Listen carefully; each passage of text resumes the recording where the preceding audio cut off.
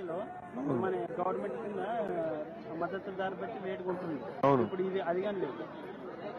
పత్తి అయితే మొత్తం ఎత్తిపోయినాయి.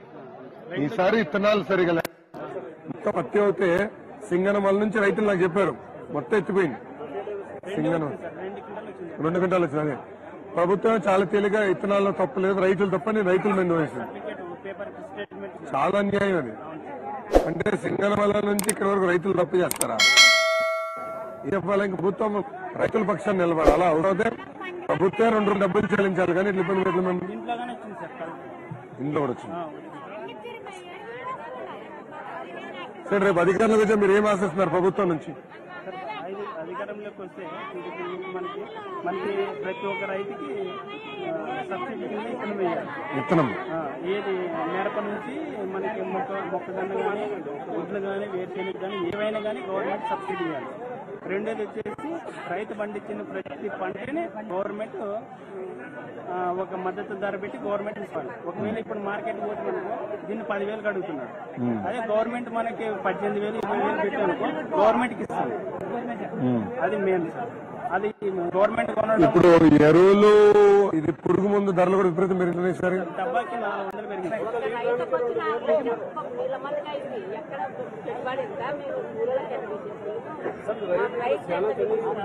ప్రతి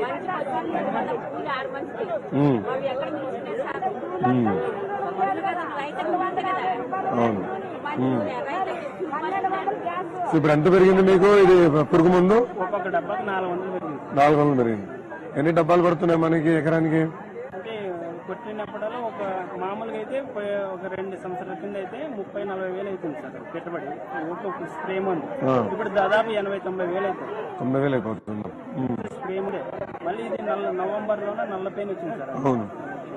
ఆ. నల్ల పెయిన్ వచ్చినప్పటి నుంచి త్రీ డేస్ ఒకసారి త్రీ డేస్ ఒకసారి స్ప్రే చేస్తారు. ఇంకోటి వీళ్ళు రైతు ఇది పెట్టినారు కదా సార్ ఇది సచివాలయంలో వీళ్ళు మామూలుగా రైతు వాళ్ళు దాని కింద ఈ రైతులకు అవగాహన ఫీల్డ్గా లేదు ఎవరు మన అగ్రికల్చర్ ఎక్స్టెన్షన్ ఆఫీసర్కి ప్రతి పొలానికి ఈ మందు కొట్టండి ఇట్లా చేసుకోండి ఇది చేసుకోండి అని దాని కింద కానీ లేదు అసలు. చెప్పిన ఆదరణ లేదు. చెప్పిన ఆదాయం లేదు. ఇప్పుడు రైతు పోయి ఫర్టిలైజర్ల ఇది ఫలానా చెప్తే అది ఒకటి ఇవాళ ఒకటి ఇవ్వమంటే నాలుగు ఇచ్చి పంపిస్తుంది ఆడి పెట్టుబడి ఎక్కువ పెరుగుతుంది. ఎరువులు బాగా పెరిగిపోయింది భూసార పరీక్షలు జరుగుతున్నాయా? లేదు సార్. ఎక్కడన్నా కానీ? భూసార పరీక్షలు ఎక్కడ జరగట్లేదు. రేపు అధికారులకు వచ్చిన ముందర పెట్టుబడి తగ్గించాలా? దాని తర్వాత మార్కెట్లో గిట్టుబడి ధర రాకపోతే ప్రభుత్వం అనుకోవాలి ఇంకోటి ఆదోని మార్కెట్ అయిన తర్వాత సీసీఏ మళ్ళీ కూడా మనం మద్దతు కొనుగోలు పెట్టిన పర్మిషన్ ఇచ్చారు. టైం. వీళ్ళు వచ్చా తీసేసారు వాళ్ళు కోరేది ఏంటంటే కోల్డ్ స్టోరేజ్ లేవు. అవును. స్టోరేజ్ చేసుకోలేరు మార్కెట్ పోతే ఇంకోటి కూడా లే ఇంకో ప్రాబ్లం కూడా ఏంటంటే మిరపంతా మొత్తం మళ్ళీ గుంటూరుకి వెళ్ళాలి? అందుకే నేను చెప్పినాను ఆదోని కేంద్రంగా తీసుకుని కోల్డ్ స్టోరేజ్ లింక్ పెట్టి మార్కెట్ మిర్చి మార్కెట్ ఆదోనిలో ఏర్పాటు ఎక్కువ సార్. ఒక్కటే దాదాపు అయినా కానీ ముప్పై వేల మిర్చి పడుతుంది సార్. ముప్పై వేల ఎకరాలు పడుతుంది. అది కూర్చొని మనం మాడుకోవచ్చు పెద్ద సమస్య కాదు. కానీ మీరు అన్నట్టు కోల్డ్ స్టోరేజ్ కూడా ఏర్పాటు చేస్తే కరెక్ట్ ధర వచ్చినప్పుడు అది ఇచ్చేది కానీ ఇదంతా ఎండు మిరప ఎమ్మెగనూరు బత్తి అవును మొత్తం. ఎమ్మెగనూరు అవును ఎంబెక్ నుంచి గుంటూరు కలుగుతుంది దాదాపు రెండు వేల ఎకరాలు. రెండోది ఇంకా ఇరిగేషన్ ప్రాజెక్టులు కూడా పూర్తి చేయాలా? బాబు గారు అప్పుడు పనులంతా ప్రారంభించారు. వీళ్ళ అధికారంలోకి వచ్చిన సాగునీరు ప్రాజెక్టులు కూడా పూర్తి ఆపేశారు. అదే కానీ మనం ఉంటే సాగునీటి ప్రాజెక్టులు అయిపోయి ఉంటే ప్రతి ఇంటికి ఉచితంగా నీటి కులాయి కూడా వచ్చేసి ఉండేది ఇప్పటికి. మొత్తం ఆపేశారు.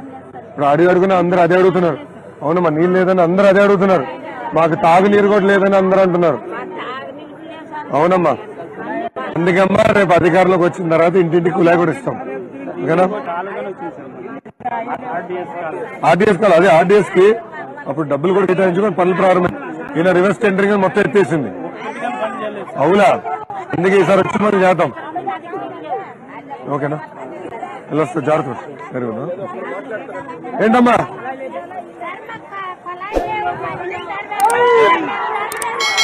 అరవద్దు ఒక్క విషయం. ఒక్క విషయం ఇంపట్లేదు. మీరు ఇట్లా ఏంటమ్మా ధరలు పెరిగాయి, మంచి నూనె పెరగలేదమ్మా.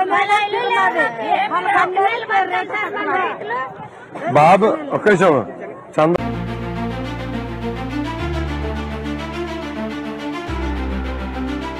Like, share, and subscribe to Rajaniti channel.